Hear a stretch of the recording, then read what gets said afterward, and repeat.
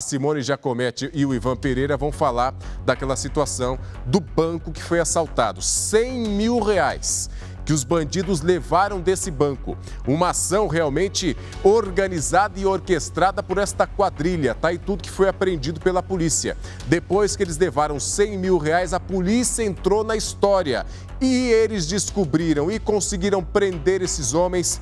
E olha, os detalhes que a Simone vai trazer para vocês só relatam e deixam cada vez mais destacada a cara de pau que esses bandidos tiveram para levar essa quantia enorme de um banco aqui do nosso litoral. Simone, as informações são tuas.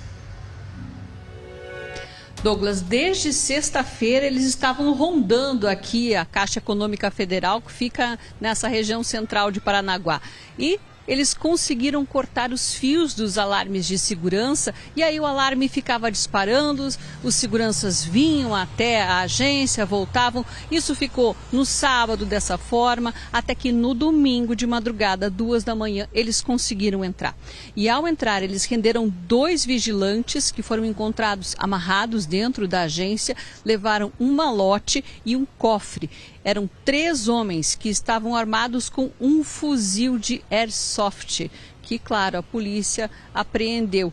E junto com eles, eles estavam em um Fiat Uno e tentaram fugir, mas foram flagrados aqui pelas câmeras de segurança da Guarda Municipal. Tem uma câmera que fica bem em frente aqui e essas imagens ajudaram a identificar a placa do carro, os meliantes, né? Então eles saíram por aqui pela rua e foram flagrados pela câmera. Essas imagens ajudaram na investigação. Agora há pouco, os peritos que da Polícia Federal, eles saíram daqui, eles estavam desde cedo na agência, a agência está fechada. Ali na frente nós temos os funcionários eles estão desde cedo aqui, não puderam entrar. A agência está interditada, olha só, eles estão ali aguardando. Eu conversei com eles agora há pouco, eles não podem dar entrevista, mas falaram que desde cedo eles chegaram no horário normal de expediente e acabaram sendo surpreendidos né, com essa notícia desse assalto que foi muito ousado. Eles levaram quase 100 mil reais e acabaram sendo pegos. Tem ali também faixas de interdição da agência e os policiais federais, eles que estão conduzindo essa investigação por ser a Caixa Econômica Federal.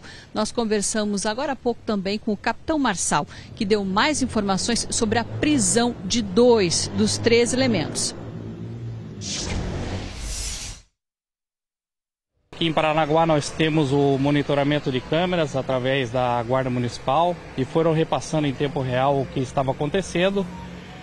Diante da informação de que um veículo Uno de cor escura teria saído do local, a Polícia Militar, juntamente com a Guarda Municipal, começou a fazer o cerco em torno da cidade e, em determinado momento, a gente visualizou um veículo com as características repassadas, com três indivíduos e ao tentar abordar, empreenderam fuga. Em determinado momento a gente conseguiu realizar essa abordagem, realizar essa prisão.